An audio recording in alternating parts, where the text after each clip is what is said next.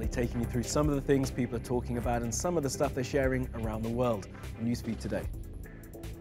Sisters on the run try and use social media to help them flee their family in Saudi. Refugees face difficulty as the Libyan civil war renews. Flower power in Istanbul as the annual festival attracts the crowds. And this animal doing stuff was an unwilling participant in a viral campaign.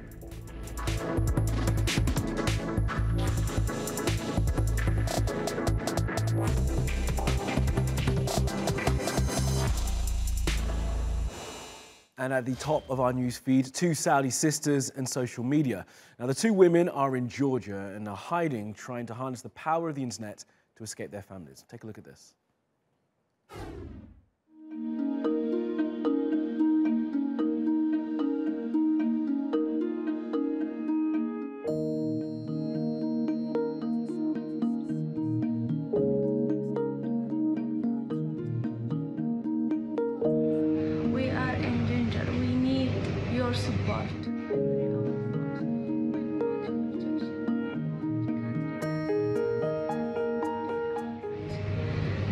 Please help us.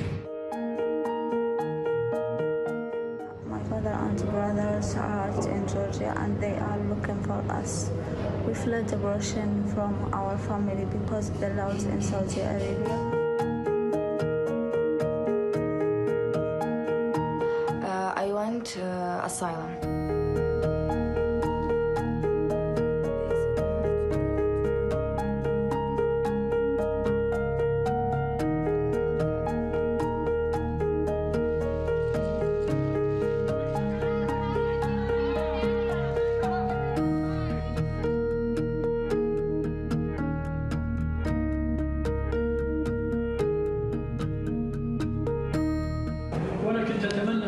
Have been better if they had confiscated her cell phone instead of her passport.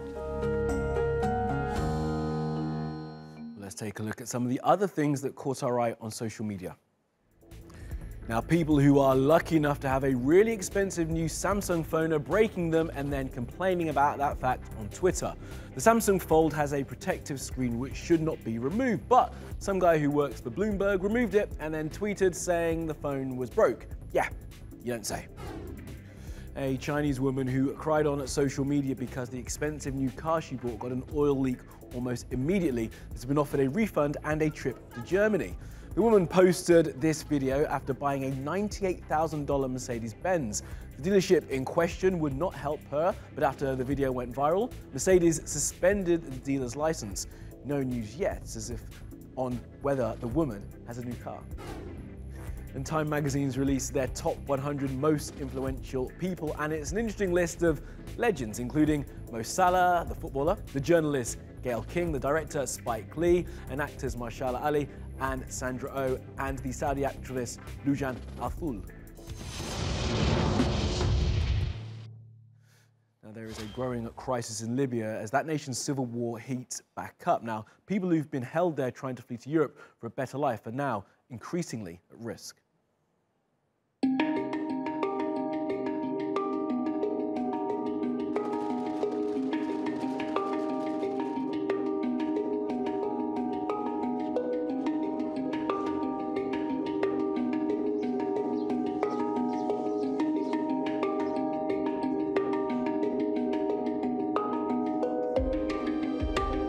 I know that some in Europe perceive it as a growing threat of growing flows, but it represents first and foremost also a threat to the lives of those migrants and refugees that are trapped in Libya and whose life is more at risk than others.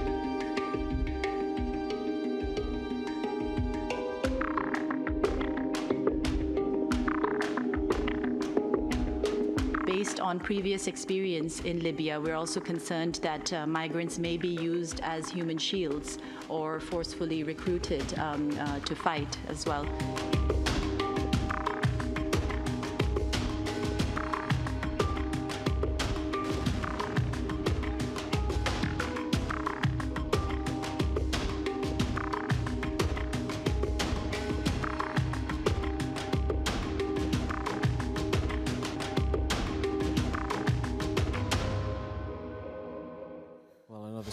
Refugees now, and these refugees are in Canada, having fled the civil war in Syria. They escaped there, but then were befell, befallen by another tragedy, the loss of their daughter called Amal.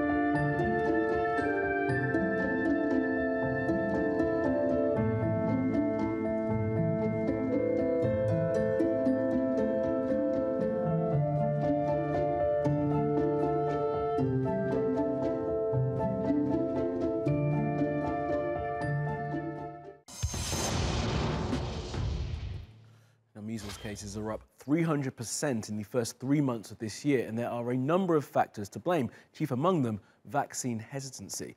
And that's been exacerbated by lies and misinformation being spread online. But some sites have taken some action. My name is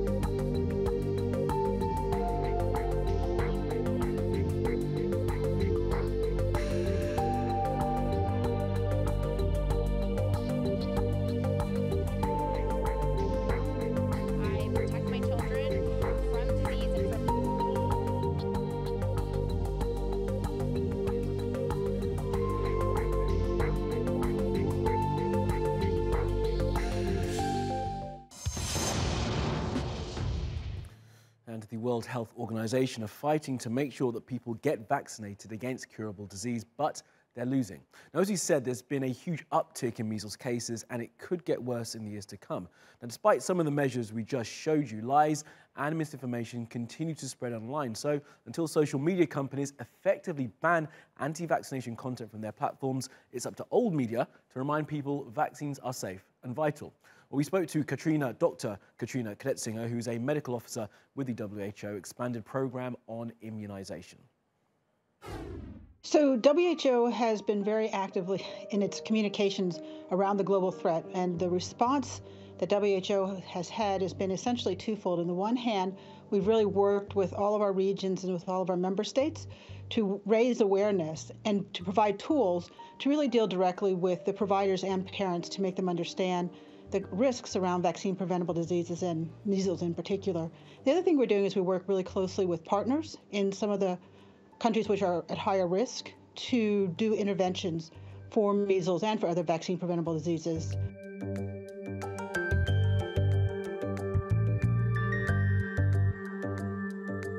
Um, raising awareness of the potential harms associated with measles, that even in um, industrialized countries, you know, one to two out of a thousand children with measles will die, and the death rate is much higher in other countries, and there's permanent disability um, that can result from measles infection, and approximately a quarter of measles cases are hospitalized. I think that people aren't aware of this, and they consider it a benign childhood illness. So we have a lot of work to do to raise awareness of the um, consequences of having vaccine preventable diseases, but I'm not sure we're going to go to uh, scaremongering tactics.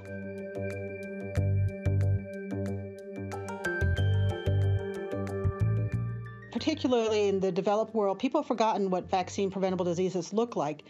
And there's also at the same time an increase in the ability to spread rumors through social media. So that provides the media for being able to spread these rumors. Having said that, I do want to emphasize that while this is very concerning and we're working again with member states to really provide credible information to for providers and for parents, that the majority of uh, parents who choose not to vaccinate their kids or who, who have children who are not vaccinated is related to other issues such as ease of access, um, knowing when clinics are open, having the vaccines readily available to them.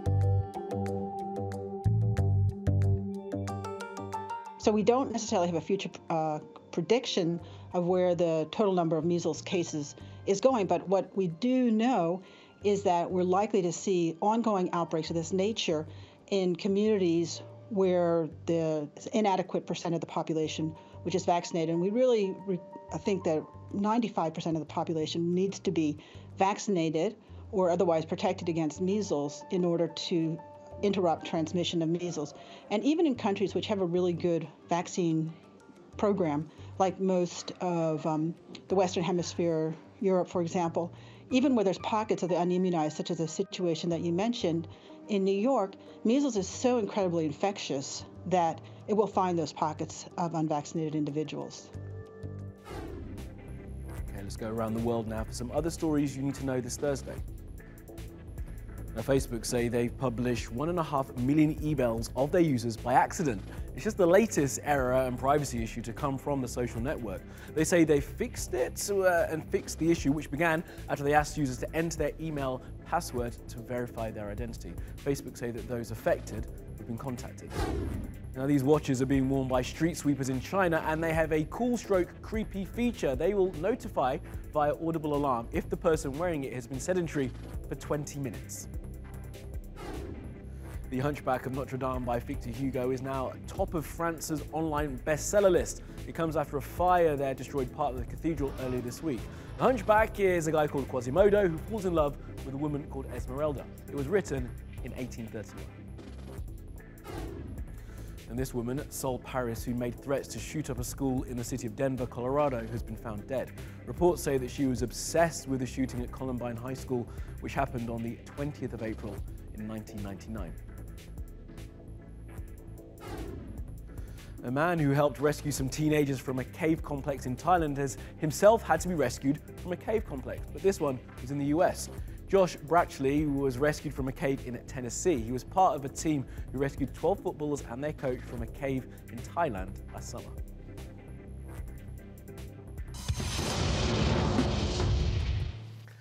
Well, it's tulip season, and that can only mean one thing the Tulip Festival in Istanbul. And if you like flowers, you'll like this one.